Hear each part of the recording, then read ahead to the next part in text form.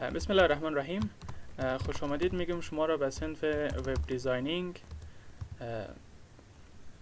زمانی که ما در مورد web designing صحبت می‌کنیم خوب است یک سری موارد را یک سری اصطلاحات را قبل از اینکه مثلا روی کار web designing بریم بفهمیم.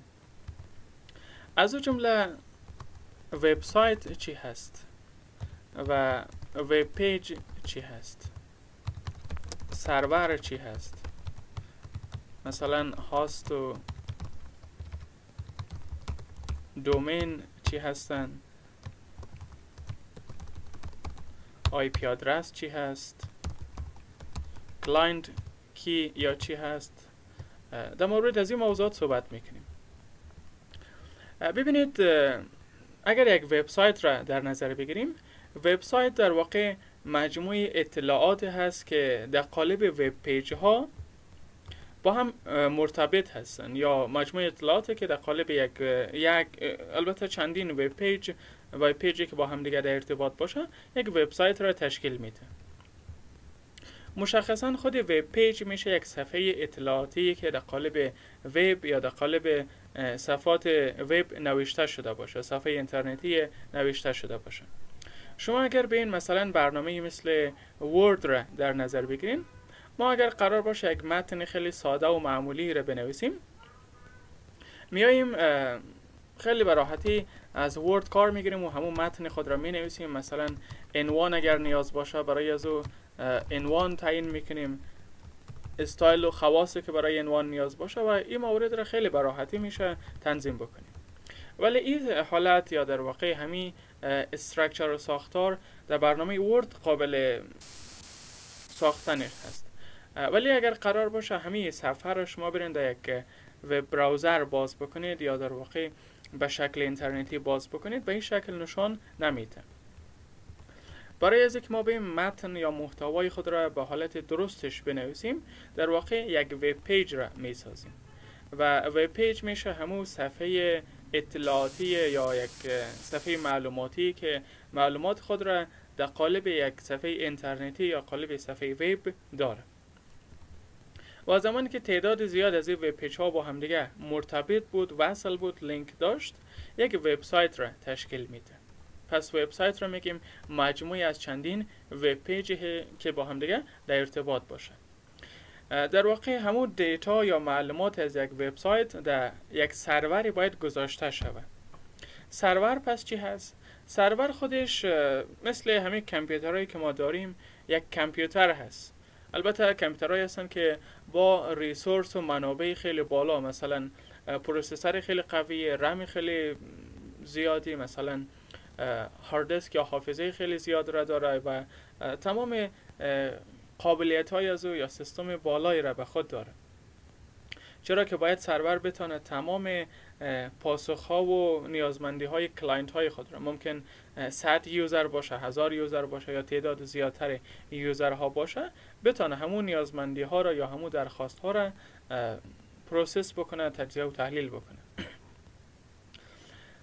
خب ما که میایم مثلا اطلاعات مربوط به یک وبسایت را در داخل یک سرور می‌گذاریم. خود عملیه گذاشتن از رو به نام hosting یاد می‌کنه. یا در واقع فضایی را که شما برای گذاشتن اطلاعات یک سرور استفاده می‌کنید به نام host یاد میشه.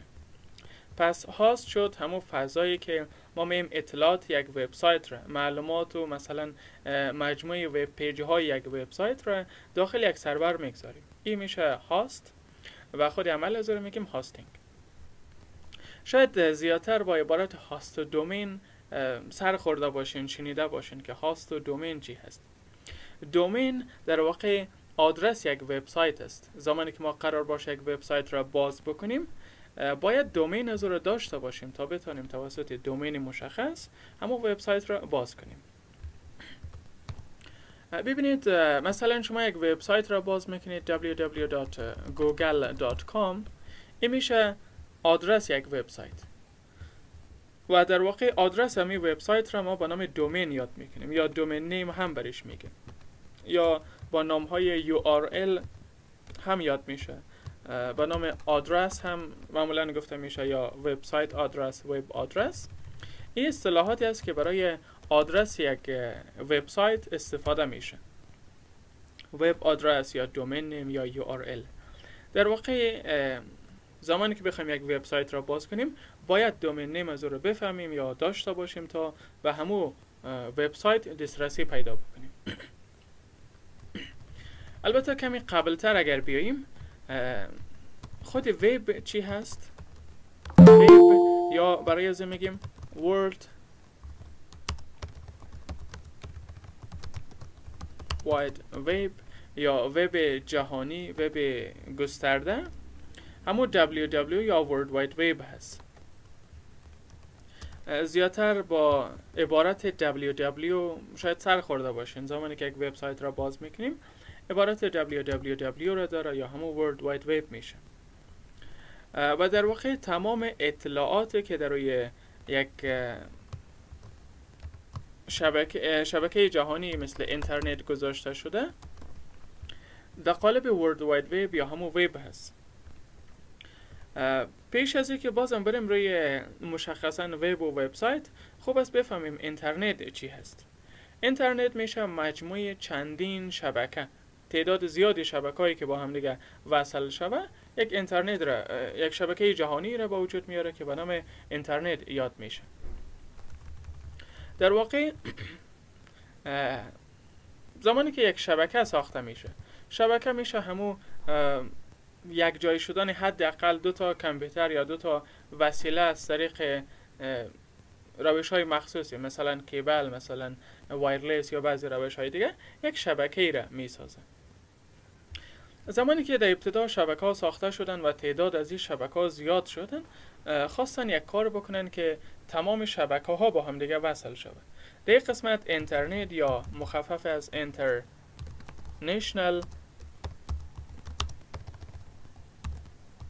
network یا شبکه جهانی به وجود آمد. پس خود اینترنت مخفف از دو کلمه دیگه هست international network یا شبکه جهانی. و اطلاعات و معلومات که به دسترس اشخاص مثل ما یا شما قرار می‌گیره در قالب وبسایت ها هست یا همون وب هست در واقع. و این وبسایت ها تماما یک domain name مشخص را داره یا یک آدرس مشخص را داره. اولا برای برقراری ارتباط بین یک کامپیوتر با یک کامپیوتر دیگه یا یک کامپیوتر با سرور یا حداقل دو تا device با هم دیگه ما نیاز داریم یک IP address داشته باشیم. پس بهتر است بگیم زمانی که یک شبکه برقرار میشه یک ارتباط در یک شبکه برقرار میشه هر device از خود یک IP address خاص را داره. مثلا کامپیوتر ما که client میشه. client چی هست؟ client همو شخصی یا چیزی که در واقع از یک سرور استفاده می‌کنه. معمولا end user ها را به نام client یاد می‌کنه. end user ها منظور از end user همو استفاده کننده های آخری هست. می کسی دیگه وبسایت را می‌سازه مثلا خدمات اینترنت را فراهم می‌کنه. ما فقط از او استفاده می‌کنیم. پس ما میشیم end user یا همو client زمانی که یک client با یک سروری در ارتباط می‌خواه شود یا یک client با یک client دیگه تمام یک IP address خاص را داره. تمام از یک IP address مشخص را داره. شما اگر تصور بکنید در زندگی روزمره مثلا با یک دوستتان می‌خواین تماس برقرار کنید یا زنگ بزنید باید شماره تماس از اون رو داشته باشیم. حالا کامپیوترها باید IP address طرف مقابل خود را بشناسه یا باید داشته باشه تا یک ارتباط را بتونه برقرار کنه. مثلا نمونه از یک IP address را داریم. گرچه بحث network میشه شبکه ها هست که یک IP address به چی شکل هست و مثلا کدام کلاس ها و کدام range ها را داره و ازش صحبت نمی کنیم فقط یک نمونه از IP address را اگر در نظر بگیرین چهار تا عدده که با dot یا نقطه ها از همدیگه جدا شدن. یک IP address هست و یک کامپیوتری که به اینترنت وصل میشه باید یک IP address را داشته باشه. بسیار خوب. حالا اون معلومات را که شما در یک سرور می‌گذارین همون وبسایت را که در واقع در یک سرور host می‌کنید می‌گذارین یک دومین نیم را داره. در اصل دومین نیم نام از یک آی پی آدرس هست. ما مثلا در تلفن خود میاییم شماره تماس اشخاص را یا همون دوستا و فامیل خود را بر اساس نامشان ثبت می‌کنیم. احمد اینی شماره تماسش. محمود به این شکل شماره تماسش. ولی در وبسایت ها برای سرور مربوطه یک دومین نیم قرار داره. چون حفظ اعداد برای انسان ها مشکل هست ولی می‌تونه از کلمات یا از اون نام ها خیلی به راحتی استفاده کنه. مثلا نیاز نشوه که ما برای گوگل یک IP address جدا حفظ بکنیم برای فیسبوک برای یوتیوب برای هر وبسایتی که در نظر بگیریم در اصل یک IP address از سرور را داره. منتها حفظ عددی از اون IP address برای ما مشکل هست.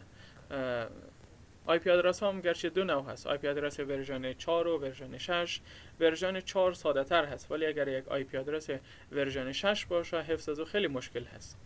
پس در این صورت میاییم از domain name استفاده می‌کنیم. domain name میشه نام از همو وبسایتی که داخل یک سروری host شده باشه. و این domain name از چند قسمت ساخته شده. از او جمله کلمه www معمولا در اول هست که مخفف از World Wide Web یا همو وب جهانی هست. برای اولین بار شخصی به نام تیم برنرز لی موفق شد یک صفحه اینترنتی را یا در واقع یک web page را بسازه و از داخل یک کامپیوتر دیگه همون web page را باز بکنه یا با او web page دسترسی پیدا کنه و نام از ماند World Wide Web یا وب جهانی شبکه جهانی اطلاعات. این خاطر معمولا کلمه www را شما در اولی هر وبسایت می‌بینید. بعد ادامه نام خود وبسایت ما هست. مثلا گوگل، فیسبوک، یوتیوب، یاهو یا هر چیزی که باشه. تصور بکنید یک وبسایت را شما می‌خواین برای خود بسازید پس در قسمت میمانید www.myname.com یا حالا هر چیز دیگه. معمولا در آخر ما یک پسوند را داریم مثل .com .org یا مثلا .edu .gov .af مثلا .ir و به این شکل پسوندهای را داریم. که هر کدام از یک مفهوم خاص را داره اگرچه نظر به کارکردش زیاد تفاوت نداره. شما اگر به یک وبسایت را بسازین از پسوند مثل dot com استفاده کنید. هم با اون شکل کار می‌کنه یا اگر dot org باشه هم با اون شکل کار می‌کنه یا ممکن dot net اگر باشه هم با اون شکل کار می‌کنه این فرق نداره. ولی مشخصا پسوندهایی را که داریم مثل dot com مخفف از commercial یا تجارتی هست. یا مثلا dot org از organization هست. سازمان ها و ارگان ها میای از پسوند مثل dot org استفاده می‌کنه. و مثلا dot net از network ها شبکه ها هست شبکه های ممکن یک شبکه سیاسی باشه مثلا یک شبکه اجتماعی است. یا با همی شکل شبکه های دیگه میای از پسوند مثل dot net استفاده می‌کنه. dot edu مثلا برای مطالب آموزشی استفاده میشه. خصوصا پوهنتونا و مکاتب از ایدیو استفاده می‌کنه. یا بر فرض. جی مخفف از گورنمنت گورنمنت یا همو گورنمنتشل یا همو دولتی هست. خصوصا ارگان های دولتی یا سازمان های دولتی ادارات دولتی از پسوند. وی استفاده می‌کنه. و می صورت تمام کشورها پسوندهای مخصوص خود را داره که از جمله از افغانستان میشه AF یا مثلا از انگلستان هست UK یا از امریکا هست US یا از ایران هست IR پسوند مخصوص مربوط به همو کشور هست. به این شکل ما یک دومین نیم را باید داشته باشیم و این دومین نیم را در کجا باید بنویسیم تا همو وبسایت برای ما باز شود. همو دومین نیم را ما میایم داخل برنامه به نام براوزر. و البته در قسمت URL بار یا به نام آدرس بار هم یاد می‌کنیم. خود براوزر مشخصا یک اپلیکیشن هست یک برنامه هست مثل برنامه های دیگه ای که شما دارین. یک اپلیکیشن هست. مشخصا براوزر برای browse کردن یعنی جستجو کردن در اینترنت استفاده میشه. و از جمله browser های مشهوری را که داریم Google Chrome هست Firefox Opera مثلا Microsoft Edge ی که در ویندوز ها هست Safari. در کمپیوترهای Mac و موبایل های آیفون است و غیره. اینا از جمله browser ها هستن. گرچه خیلی زیاد browser ها را داریم و امروز استفاده میشه ولی چند تا مشهوره که در قسمت نام گرفتیم زیاد استفاده میشه. این برنامه ها یک browser هستن یا برش میگیم internet explorer هستن. جستجوگری هست که می‌تونیم با استفاده از او یک وبسایت را باز کنیم. همین که شما میین یک صفحه اینترنتی را باز می‌کنید در واقع یک جایی را داره برای درج آدرس از همو وبسایت. مثلا در اینجا می نویسیم www.google.com و این www.google.com میشه دومین از یک وبسایت. همین که ما دومین را تایپ بکنیم وبسایت مربوطه برای ما باز میشه. بسیار خوب. پس تا این قسمت را فهمیدیم که یک وبسایت چی هست و web page چی هست web page می‌شد همو اطلاعات و یا مثلا معلومات که در قالب صفحه وب یا صفحه اینترنتی نوشته شده باشه. مجموعی از او یک وبسایت را تشکیل میده. بعد این وبسایت خود را ما باید بیاییم در یک server host بکنیم بگذاریم. و برای از او یک domain مشخص را یا یک آدرس مشخص را هم داشته باشیم که URL مخفف از Uniform Resource Locator هست. همون منبع یا آدرس که در واقع data ی ما گذاشته میشه او رو به نام URL هم یاد می‌کنه یا domain name هم برش میگیم یا web address هم یاد می‌کنیم. و ما انسان ها یا client ها یعنی end user ها توسط یک براوزر می‌تونه به همون وبسایت دسترسی پیدا بکنه. اولا خود شما نیاز دارین که ارتباط اینترنت برقرار شود. شما باید به یک اینترنت وصل باشین. زمانی که اینترنت وصل بود میرین داخل یک براوزر و دومین یک وبسایت را می نویسین بسیار خوب. تا این قسمت اگر جای سوالی هست میشه پرسان کنید. خب در قسمت وبسایت ها معمولا دو رقم وبسایت را داریم. یکی وبسایت های استاتیک هستن و یکی وبسایت های داینامیک هستن. وبسایت های استاتیک وبسایت های هستن که معلوماتش نظر به یوزر فرق نمی‌کنه. هر شخصی از هر آدرس و هر زمانی که باز بکنه او معلومات را که مثلا اول نشان می‌داد همون را بعدا هم نشان میده. معمولا وبسایت های معلوماتی که ممکن یک database هم در background تان نداشته باشه این او وبسایت ها رو میگیم وبسایت های استاتیک. تصور بکنید در مورد یک جنسی مثلا یک موبایل آمده و یک وبسایت ساخته اطلاعات مورد یک در مورد یک موبایل هست. و هر شخصی هر زمانی از هر جایی که به همون وبسایت را باز بکنه دقیقا همون معلومات را برایش نشان میده. برای هر شخصی فرق نمی‌کنه. ولی نوع وبسایت های dynamic قسم است که اطلاعاتش نظر به user نظر به صلاحیت های user نظر به زمانی که باز می‌کنه مثلا نظر به موقعیتی که باز می‌کنه فرق می‌کنه. معمولا وبسایت های dynamic اطلاعاتش از داخل database میه و ممکن اطلاعات update شوه ممکن اطلاعات از بین بره یا ممکن اطلاعات نظر به user صلاحیت بندی شده باشه و تغییر کنه. این رقم وبسایت ها رو میگیم وبسایت های dynamic. پس وبسایت های dynamic تقریبا تمام وبسایت های dynamic database در background خود داره.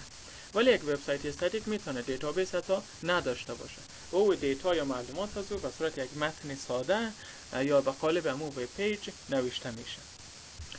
خب. معمولا یک مرحله دیزاین وبسایت است که مرحله دیولپ وبسایت. مرحله دیزاین وبسایت ساختن قالب وبسایت است. مثلا همون شکل ظاهری وبسایت است. شما اگر تصور بکنید مثلا نمی صفحه فیسبوک را ما اگر بیایم باز کنیم می نویسیم facebook.com و محضی که صفحه باز میشه. اینجا یک لیست را می بینیم که مثلا از دوستای ما هست یا برفرض پستا را می بینیم و خیلی موارد دیگه. این شکل ظاهری یا محیط ظاهری صفحه. و امو صورتی که می بینید کار designing هست یا کار طراحی وبسایت هست. و بعد دیگه کار development میشه توسعه وبسایت که هر گزینه چه قابلیت هایی را داشته باشه.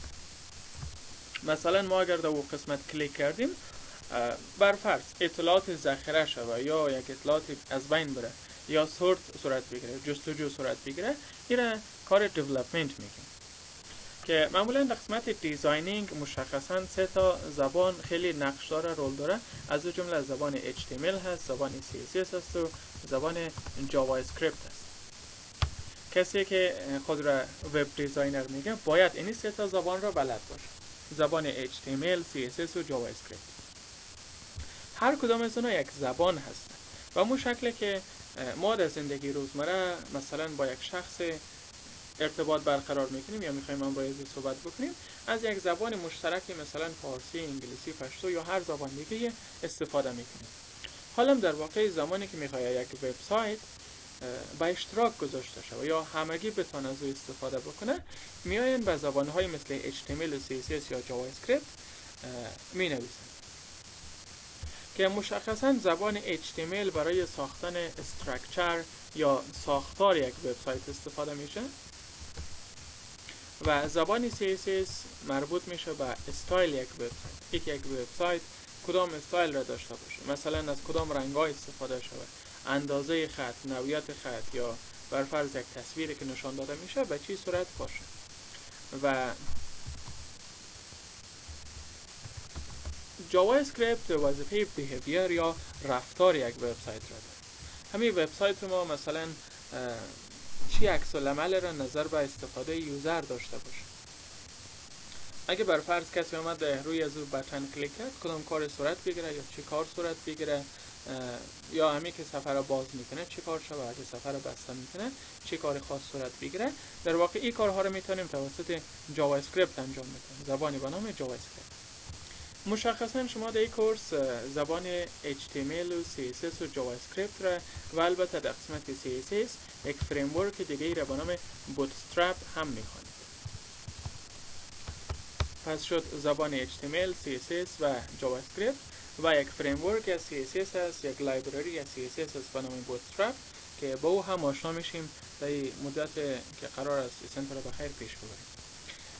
سر از جلسه بعدی موضوع HTML را شروع می‌کنیم و تا به قسمت اگر جای سوالی هست میشه پرسان کنیم